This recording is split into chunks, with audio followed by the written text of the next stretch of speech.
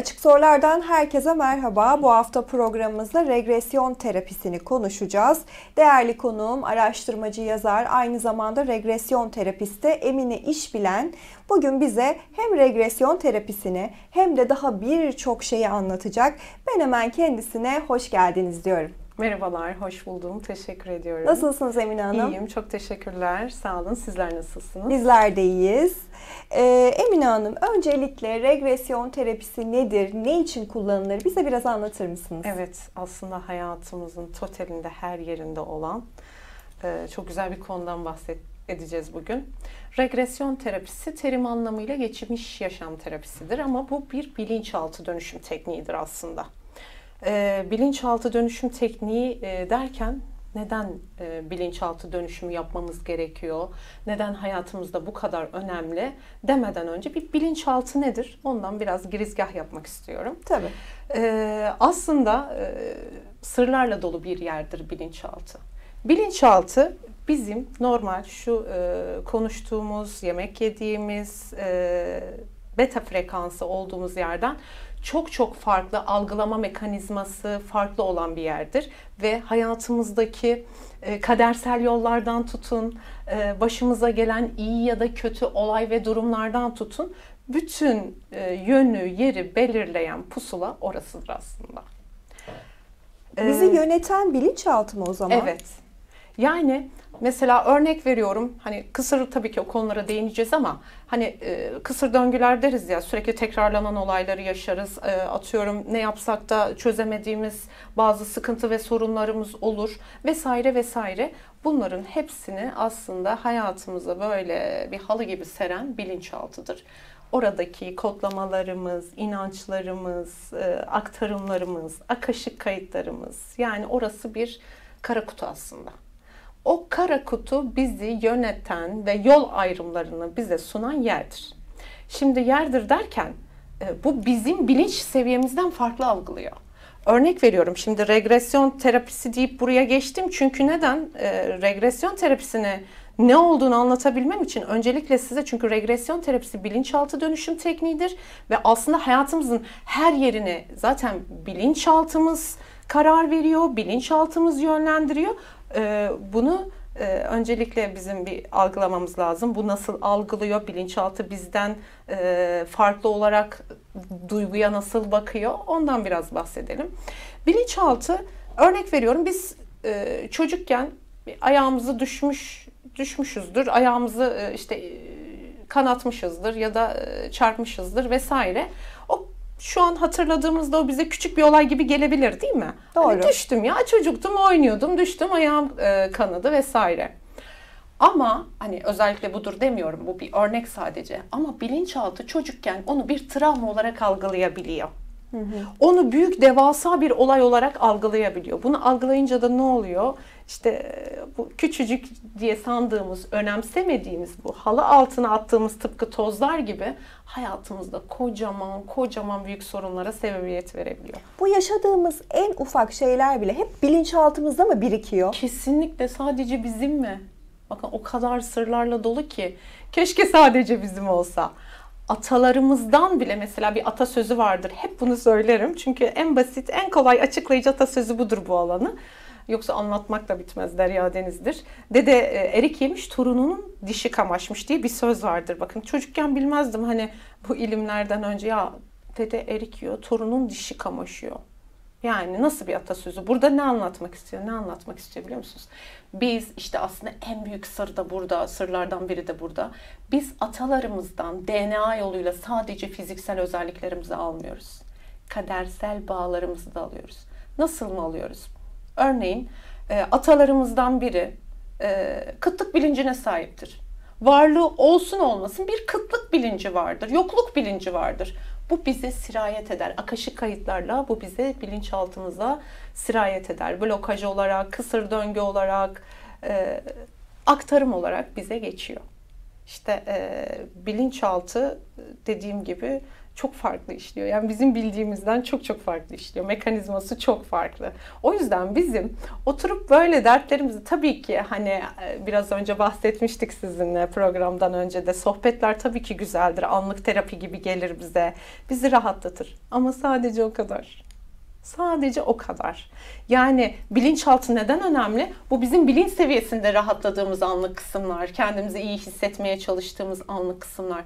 Önemli olan nedir? Onu kökten dönüştürebilmek. Bakın yok etmek diye bir şey yok, temizlemek diye bir şey yok. O zaman önce temele inmemiz gerekiyor değil Temele mi? inmemiz gerekiyor. Birazdan zaten konuştuk sizinle hani e, temele inmeden bazı şeyler söylüyorlar. Siz sizden bekleyeceğim. Bazı şeyler söylüyorlar. Şunu yapın, bunu yapın, şöyle yapın ama hiçbir şey biliyor musunuz? Şöyle hadi sihirli değnek dokundum oldu diye bir şey yok.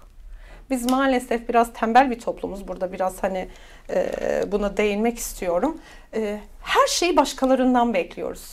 Ya şöyle biri gelsin de işte bakın en iyi terapiste bile gitseniz önce sizden başlıyor. Hazırı seviyoruz değil mi? Hazırı seviyoruz ve e, biri gelsin. Hadi ben bunu sanki bir iş veriyorum. Bir taahhüt veriyorum. Gelsin bunu bana dokundursun. Hayatımın şurasını düzeltsin. Burasını düzeltsin. Öyle bir dünya yok. Geldim, paramı verdim. Bana sigarayı bıraktır.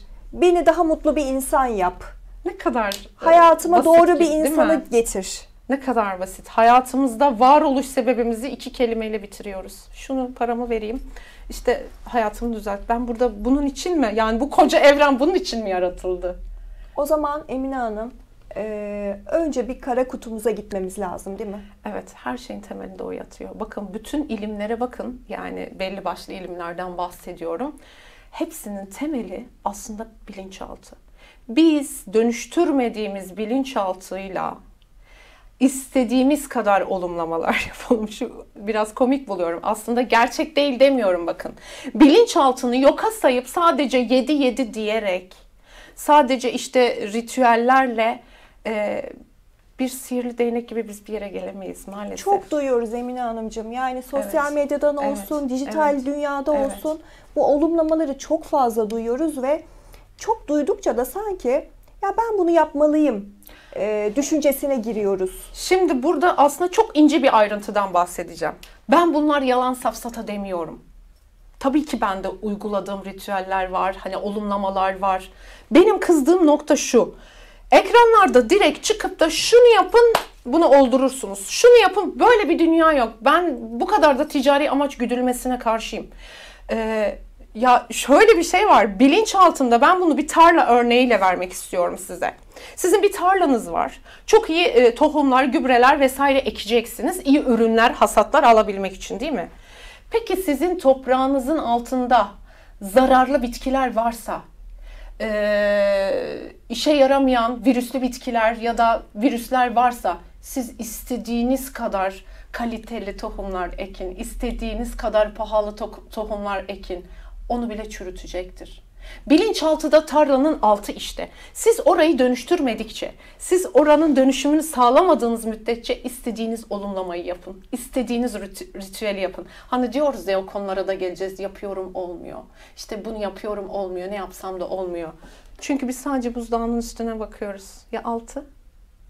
Yani o tarlanın altını görmeden, o tarlanın altını analiz edip temizlemeden, dönüştürmeden nasıl ektiğim tohumlardan iyi ürünler, hasatlar bekleyebilirim ki? Ben buna tembellik diyorum. İşte bunun farkındalığına nasıl varacağız? Evet. Şimdi farkındalık diyoruz ya bu aslında çok çok büyük e, ve aslında bütün konular konuşacağımız bütün konular gizemli, sırlı ama farkındalık o kadar da basit değil biliyor musunuz? Biz böyle işte bakıyoruz aa farkındalığa erişmek.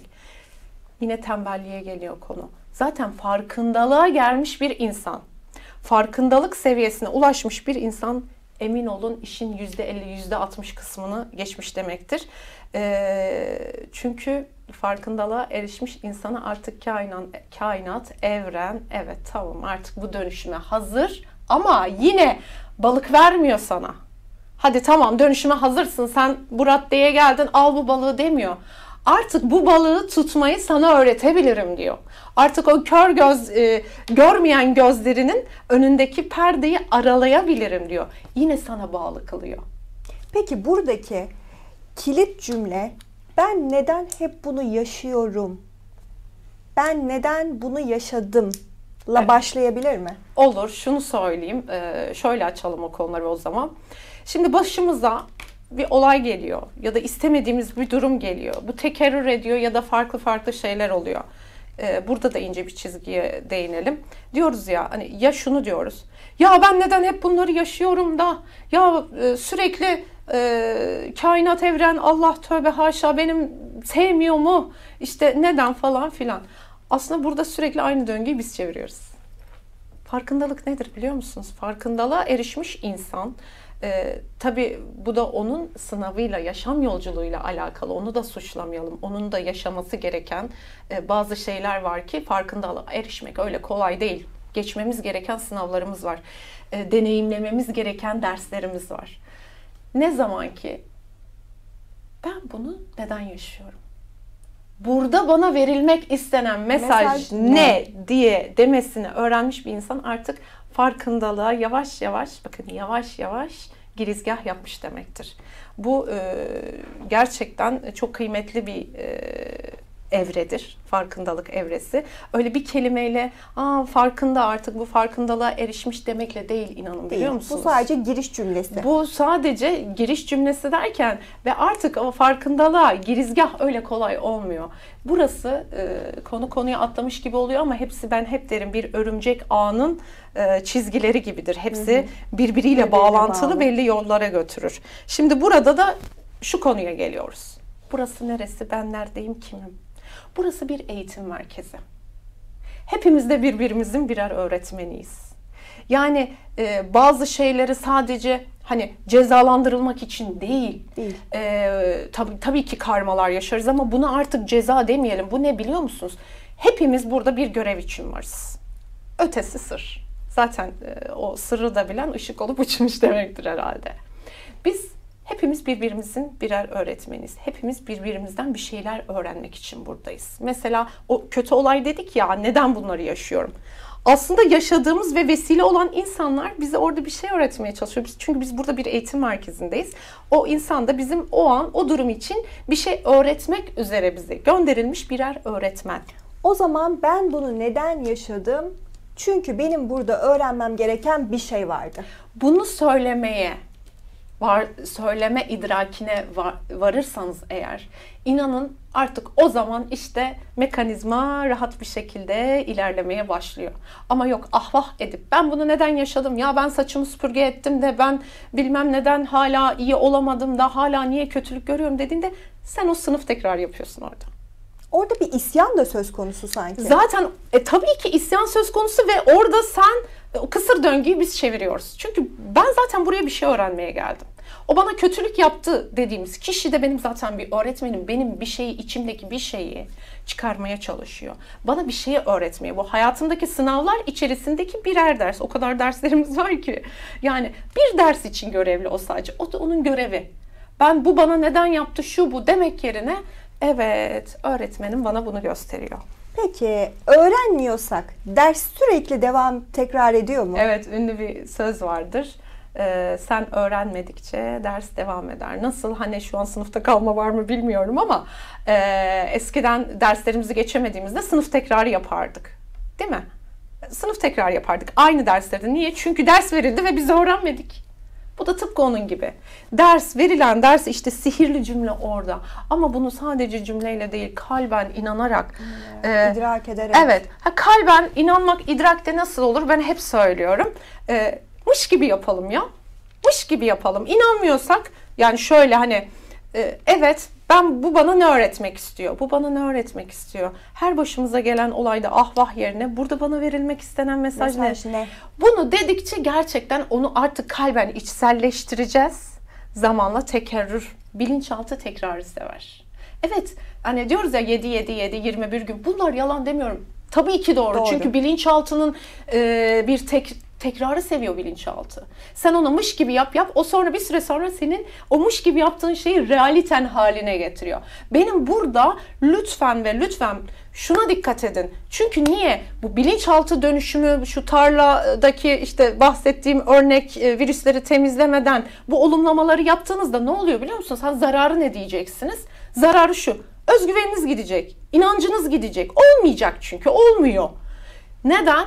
Siz orada şimdi bilinçaltındaki dönüşümü yapmadan e, olumlama yaptığınız zaman ya geçici bir sonuç verecek. Bakın bu deneyimlerle müsbet. Hem kendi deneyimlerimle hem danışanlarımın deneyimleriyle müsbet yani. Ee, bunu ezbere söylemiyorum. Bunu yapmazsanız eğer işte sadece olumlamalarla bir kere artık olumlama yapmayı da bırakacaksınız. İnancınız da gidecek. Şu kadar hani inanmak başarmanın yarısıdır derler ya çünkü bilinçaltı, imajinasyon birçok teknikler var. Oraya da değineceğim birazdan. Siz bunları da yok saymış olacaksınız. Özgüveniniz gidecek. O yüzden diyorum ki öncelikle lütfen e, bilinçaltı dönüşümünü lütfen yapın. Ha, bunu ne kadar aralıklarla yapacağız, ne kadar bilinçaltı dönüşümü de şu an ben e, evet regresyon bakın yine regresyona geliyor. Tekniğini de sonra e, nasıl bir terapidir, nasıl bir terapi derken nasıl yapılıyor kısaca değineceğim. E, yapabildiğiniz müddetçe ara ara dönemlerle hayatınız boyunca yapabilirsiniz. Hani kaç seans diyorlar. Ya düşünsenize ta atalarınızdan DNA yoluyla aktarımlarınız var. Çocukluktan travmalarımız var ve çünkü burası bir eğitim merkezi ve biz sürekli sınanacağız. Bu kadar şeyler e, olurken 3 seansla ben nasıl e, hayatımı sağlam tutabilirim? Nasıl bilinçaltımın dönüşüm? Çünkü tekrar ediyoruz. Hayat bunu gerektiriyor. O yüzden hani ona da değineyim. Bilinçaltını ara ara uzman eşliğinde bir uzmanla tabii ki e, yaparsanız işte olumlamalarda nasıl işe yarayacak o zaman biliyor musunuz? Bundan da inşaat örneğini vereyim size yine bir tarlanın yanında. Düşünün bir inşaat dikeceksiniz.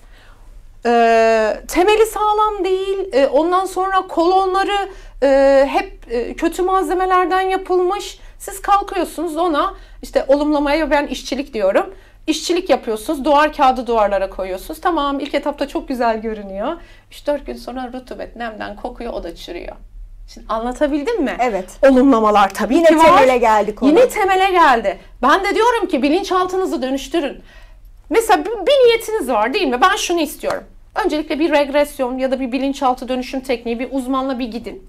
Bir bakın o bilinçaltınızda onunla ilgili hani olmuyor diyorsunuz ya blokajınız ne? Ne? Kilidiniz ne? Onu bir dönüştürün. İnançla. Ee, inançla ve e, bıkmadan, usanmadan, sabırla onu bir dönüştürün. O dönüştükten sonra zaten uzmanınız size o konuda yönlendirecektir. İşte işçiliğe de ondan sonra başlıyorsunuz. Yani regresyon terapisi alarak istediğimiz e, şeyleri, isteklerimizi kendimize çekebiliyor muyuz? Tabii ki çekebiliyoruz. Bilinçaltımızı dönüştürüyoruz öncelikle biz. Zaten biz aslında ne yapıyoruz biliyor musunuz? Regresyonla ona engel olan blokajları Blokajları dönüştürüyoruz. yıkıyoruz. Dönüştürüyoruz. Orada yarattığımız yanlış inanç kalıplarını fark ediyoruz. Ha diyecek Tıkalı kanalları mı açıyoruz? Kesinlikle öyle. Şurada da çok önemli bir noktaya değineyim. Ee, şimdi diyeceksiniz ki bunları normal sohbette de yapamaz mıyız? Hani ben anlatayım. Hani burada yanlış inanç kalıbım ne? Değil mi? Ben size sorayım yanlış inanç kalıbınız ne? Ee, hadi bunu dönüştürelim. Regresyonun bundan farkı ne? Şimdi ben size sabaha kadar oturayım dinleyeyim. Yanlış inanç kalıbınız nedir? Bu konuda sizi işte kısıtlayan nedir? E, vesaire vesaire. Ne derseniz deyin e, doğru şeyi söylemeyeceksiniz istemsiz olarak. Burada da hemen benim meşhur bir sözüm var. Ben bilmem ki bilinçaltım bilir. Hmm. E, bilinçaltıyla da sizinle böyle normal konuşur bir şekilde sizinle sabaha kadar konuşayım. Gerçek inanç kalıplarınızı bu konuşarak öğrenemeyiz. O zaman aynı bedende iki farklı e, ee, insan gibi mi yaşıyoruz? Öyle biri bilinçaltımız biri de Evet şöyle söyleyeyim. Hani şimdi bu biraz farklı biliyorsunuz. Kelimeler biraz şeye açık, hmm, eleştiriye açık oluyor sakız gibi. Şöyle özetleyeyim. Bizim bir bilinçaltımız ve bir bilincimiz var. Bilincimizle normal gündelik beta frekansında biz işte konuşuyoruz, yemek yiyoruz. Bilinçaltı da teta frekansında. Şimdi e, kodlamalar, blokajlar, kara kutumuz bilinç altında saklı. Şimdi ben bilincinizle zaten yönlendiren, kadersel yol ayrımlarını yönlendiren hani aktarımlar vesaire travmalar şu bu diyoruz ya. Bunu ben size bin sorayım. Belli başlı şeyleri belki bilirsiniz. Gerçek nihai temeli bilemezsiniz. O da Ancak bilinçaltınızda ve bilinçaltınızda inmemiz için de regresyon terapisiyle teta frekansına iniyoruz. Bilinçaltına inmenin yöntemi teta frekansıdır. Teta frekansı da regresyon terapisiyle mümkündür. Şimdi regresyon terapisi yani o seanslarda neler yaşıyor? Nasıl o seansları yapıyorsunuz? Danışanlar neler yaşıyor? Bunlara geleceğim ama Evet. şimdi öncesinde şunu da sormak istiyorum. Şimdi neden hep bu olayları yaşıyorum diye sordum. Bir de şunun şu versiyonunu merak ediyorum. Evet. Neden hep yanlış insanları kendime çekiyorum? Hayatıma alıyorum. Evet. Birazcık da bunu Hemen bahsedeyim. Aslında dedim ya hepsinin buluşma noktası, temeli aynı. Şöyle birer örnekle verelim. Ee, yanlış insan diyoruz değil mi? Şimdi e, bunun tek bir cevabı yok ama totalde bir şey var. Dedik ya burası bir eğitim merkezi. E, hepimiz de birbirimizin öğretmeniyiz. Bunu yanlış insan örneğinden yola çıkarak anlatalım nasıl oluyor. Şimdi ben iç dünyamda bunun birçok e, sebebi olabilir tabii. Mesela örnek veriyorum ama e, mesela ben iç dünyamda kendimi değersiz hissediyorum bilinçaltımda. Bakın şimdi sorsanız her kadın benim mes- mesela bazı danışanlarım oluyor diyor ki yo diyor ben kendime aynaya baktığımda çok beğeniyorum diyor. Çok güzel buluyorum diyor. Çok değerliyim diyor. Ben de diyorum ki sen bilmezsin bilinçaltın bilir. Yine aynı yere geliyorum. Bilinçaltında kendini değersiz kodlamış olabilirsin. Bilinçaltında çünkü biz unutuyoruz orası kara kutu ya. Biz unutuyoruz onları. Hepsi burada akaşık kayıtlarımızda mevcut. Bilinçaltımızda mevcut. Ben de diyorum ki gel bir bakalım. Hadi bir teta'ya inelim. Bakalım nedenmiş? Bu değersizlikten mesela bir tane örneğinden bahsedeyim. Kiminde böyle bir soruyla gelen e, çok oluyor. Bir demeyeyim zaten bu çağımızın hastalığı gibi olmuş değersizlik duygusu. Altında tabii başka etkenler de yatabilir ama yüzde sekseni e, işte geliyor diyor hep yanlış insanları çekiyorum, yanlış insanları çekiyorum. O bir kere senin öğretmenin. Sana bir şey öğretmeye geliyor. Orada dur. De ki bu bana neden geldi? Bakın sihirli cümlelere söylüyorum. Bu hayatıma neden geldi? Bendeki hangi duyguya dokunuyor? Bakın bunu bilmek günlerinizi, aylarınızı alır. Çünkü e, bunların çalışmalarını çok çok kendimde deniyorum, danışanlarımda deniyorum. Film bir yerde kopuyor aslında. İşte orada teta'da kopmuyor, teta'da da akıyor. Şimdi size sorayım. E, dersiniz neye dokunuyor? İki kelime söyleyebilirsiniz bana. Orada film kopuyor. Çünkü niye betadasınız? Teta'da akıyor. Yani teta frekansına regresyonu aldığımız zaman kendim e, terapistler kendilerinde alabiliyor tabi. Danışanı aldığım zaman orada akıyor. Tabi e, uzman bir regresyon terapisti olacak çünkü çok riskli. Bakın karşıdakinin frekans alanına giriyorsunuz. oradaki risk ne?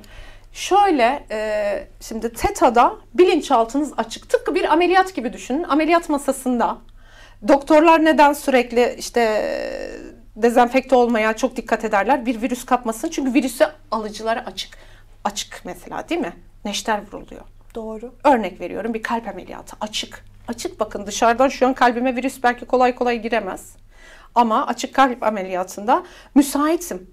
Sen ne kadar doğru işlem yaparsan o ameliyatta o kadar risksiz, zararsız gider. Çünkü bilinçaltı tetada ve açık. Sen oraya en ufak şöyle söyleyeceğim bir şey danışana kodlama olarak girebilir. Bütün frekans o an açılıyor. Her şeye açık, müsait hale geliyoruz. Evet. Aman dikkat. kodlamalara daha çok yani kodlamaların işte olumlamalar, kodlamalar TETA'da e, daha iyi sirayet O ediyor. zaman burada hemen uyarımızı verelim mi Emine Hanım? Tabii Aman ki. dikkat. evet. Bunları herkese yaptırmayın. Kesinlikle çok riskli. Çünkü oraya geleceğim ben çok e, hala bile ben sanki bu alan için yaratıldığımı düşünüyorum. Bir araştırmacıyım biliyorsunuz. Belki günde 5 saatimi ben bu alanlara ayırıyorum. E, o kadar gizemli sırlarla dolu ki e, birçok deneyim yaşadığım danışanlarım var. Kendim de dahil olmak üzere. Yani mucizevi şeyler yaşıyoruz. O yüzden lütfen dikkatli olun. E, yanlış insanların frekanslarına maruz kalmayın. Şimdi yavaş yavaş süremizin sonuna geliyoruz. Evet. Ee, bilinçaltının ne kadar önemli olduğunu Evet. konuştuk. Ee, yaşadığımız olaylarda nasıl bir bakış açısıyla yola Bakmamız. devam etmemiz gerektiğini konuştuk. Evet. Regresyon terapistinin bu tarz konulara çare şifa olacağını konuştuk. Evet. Şimdi şunu sormak istiyorum. Regresyon terapisinde danışan size geldiğinde neler yapıyorsunuz? Şimdi e, bizim tabii ki Orada ne yaşanıyor? Bize Ne? anlatır mısınız? çok güzel mucizevi bir şey yaşanıyor. Yalnız şöyle bir dikkat çekeceğim. Ee, yarı trans halini alıyoruz danışanı. Kendi tekniklerimizde regresyona özel. Ama hipnoz değil değil Hayır mi? hayır hayır hayır. Hipnoz değil. Kendinizdesiniz. Öyle uyanma işte filmlerdeki gibi hipnozda istenmeyen, istemediğiniz şeyleri konuşmuyorsunuz. Öyle bir şey yok. Sadece ne oluyor biliyor musunuz? Özet geçeceğim. Yani- Sedasyon derler tıpta. Onun gibi bir şey mi? Yani kısmi diyebiliriz. Kısmi. Şöyle anlatayım. Ee, bilinçaltınız bir sandık, kutu gibi düşünün. Terapistler o sandığın kapağını açmanızı sağlıyor. O kapağı açmanızı sağlıyor. O kutudaki içindekileri aktarıyorsunuz. Artık dönüşüm beraber yapıyorsunuz. Yani güçlü bir ikiliyle oluyor bu. Tek taraflı olmuyor. Danışanın inancıyla inancıyla oluyor. Terapistin de tabii ki uzmanlığıyla oluyor. Öyle söyleyeyim. Nasıl bir ortam gerekiyor peki bu Ee, seanslar için? Çıt bile olmayacak. Sadece danışan ve Danı- siz Evet. Danışan yatılı bir şekilde oluyor. Oluyor. Gözler göz bandıyla kapalı. kapalı. Terapist onu görerek online yapıyoruz zaten genelde. Bilinçaltı. Yan yana olmamıza gerek yok. Danışanın bilinçaltı Evet. seri bir şekilde size akıyor ve siz de orada ona şifa veriyorsunuz. O aktarıyor bana ve bazen aslında burada e, bilmiyorum hani insanlar ne düşünür. E, Bazen öyle mucizevi şeyler yaşıyorum ki mesela Var e, mı öyle yaşadığınız? Ya evet. Bize anlatacağınız çok- değişik olaylar Evet. seanslar sırasında. Evet bir iki tane etkilendiğimden örnek verebilirim.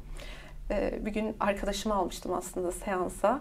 Ee, biz onun hayatındaki büyük bir sorunun travmasına indik. Ve travmasına indiğimizde o frekansta bir anda benim gözümün önüne geldi. O travması o anlatmadan bende canlandı. Bunları yaşayabiliyoruz. Bende canlandı, bende canlananı anlatmaya başladı. Çünkü niye diyorum herkese yaptırmayın. Birbirinizin frekans alanına giriyorsunuz. Giriyorsunuz.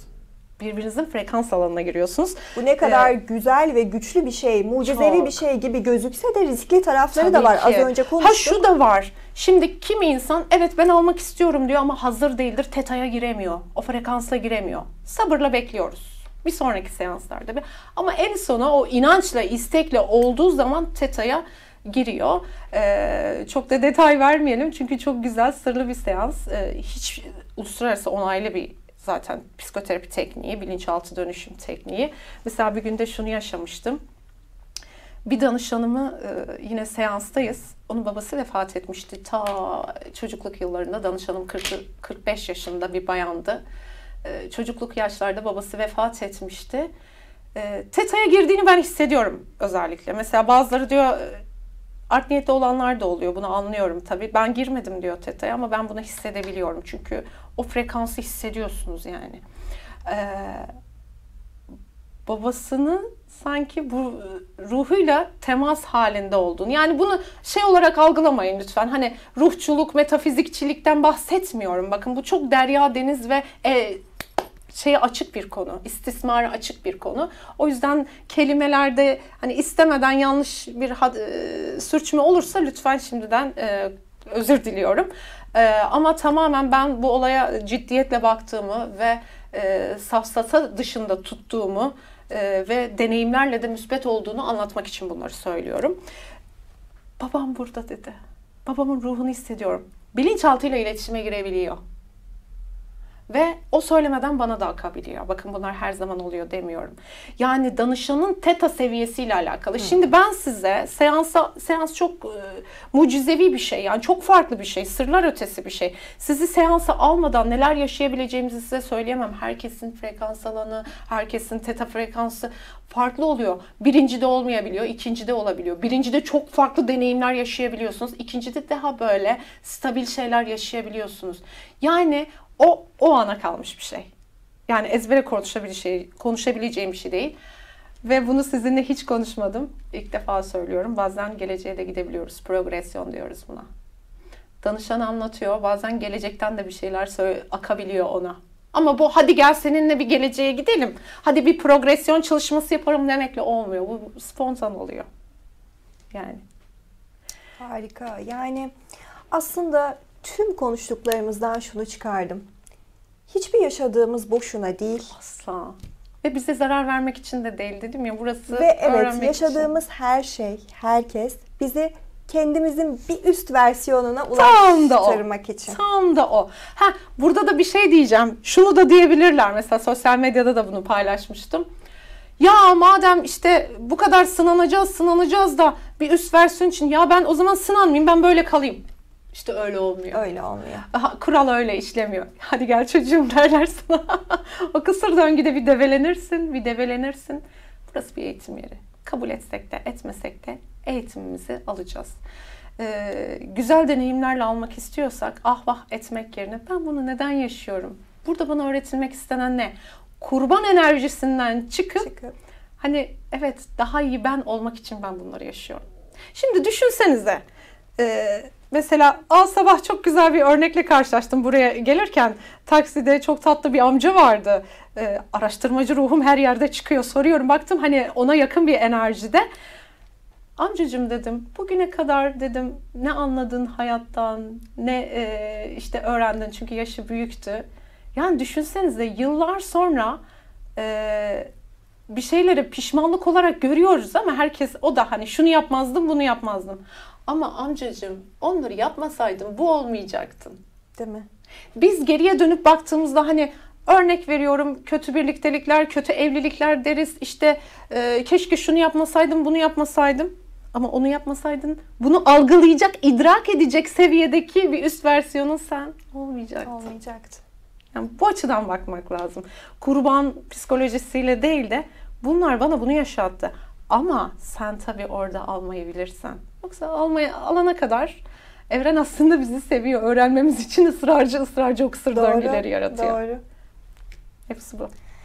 Emine Hanım o kadar keyifli bir program oldu Benim ki. için de öyle oldu. Çok Tekrar teşekkür sizi ediyorum. bekliyorum. Mutlaka bekliyorum. Mutlaka, keyif duyuyorum. Ee, bu konular öyle tek programa sığ- sığdırılacak e, konular değil. İnşallah, yeni İnşallah, programlarda inşallah. da yine Keyif bir duyuyorum. arada oluruz. Ağzınıza duyuyorum. sağlık. İyi ki geldiniz. Sizin de çok teşekkür ediyorum. Değerli izleyenler, Açık Sorular'ın bu haftaki e, bu haftaki programın süresinin de sonuna geldik. Değerli konuğum Emine İşbilen'le regresyon terapisini konuştuk.